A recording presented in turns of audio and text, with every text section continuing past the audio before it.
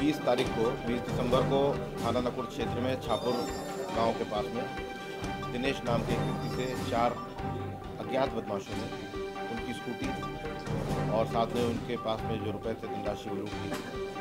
जूते भी जो है उनके करवा के लिए गए थे। इसमें हमारी टीमें लगी हुई थी। इसमें बहुत जल्दी ही इसका खुलासा करते हुए थानाध्यक्ष नकुड़ और उनकी टीम के द्वारा इसमें गुलवर्क किया गया है। इस घटना का पूरी तरह खुलासा हो गया। घटना पे शामिल जो दो बदमाश थे, उनको गिरफ़्तार किया गया है पुलिस मुठभेड़ के बाद में। उनके पास से समंचा, कारतूस घटना में प्रयुक्त हुई जो मोटरसाइकिल थी, उसको बरामद किया गया है और कुछ धनराशि भी उनसे बरामद हुई है। साथ ही साथ जो स्कूटी लूटी गई थी, उसको जुपिटर नाम की जो वाहन था, उसको भी बरामद किया गया है। इन दोनों की क्रिमिनल हिस्ट्री के बारे में जानकारी की जा रही है। इसमें एक व्यक्ति कैराना का रहने वाला है, जिसका नाम सादिक है, और एक थाना गंगो क्षेत्र का निवासी है, जिसका नाम सादिक है। इन दोनों और इन दोनों से पूछताछ करके जो घटना में शामिल अन्य अभियुक्त हैं, उनके बारे में भी जानकारी करी गई है।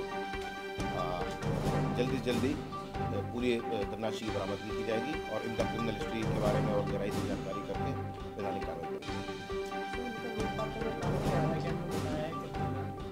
देखिए तो ज़ाहिर है, लूटपाट करने का कारण केवल जल्दी से जल्दी जो है आपराधिक तरीके से धनराशि को कमाना, यही इनका कारण है। पहले भी बताया गया है कि इनका अभी तक कुछ धारा तीन सौ अस्सी आई पी सी के कुछ अपराध समय चूँकि अभी हमारे पास में इनको कोर्ट के सामने पेश करना है तो हम इस बारे में इसमें जानकारी जो है लगातार करेंगे और इन्होंने क्या है R B S Bharat live TV पर खबरें लगातार देखने के लिए हमारे यूट्यूब चैनल को सब्सक्राइब करें और बेल आइकन को दबाएँ। वीडियो को लाइक करें और अपने कमेंट दें।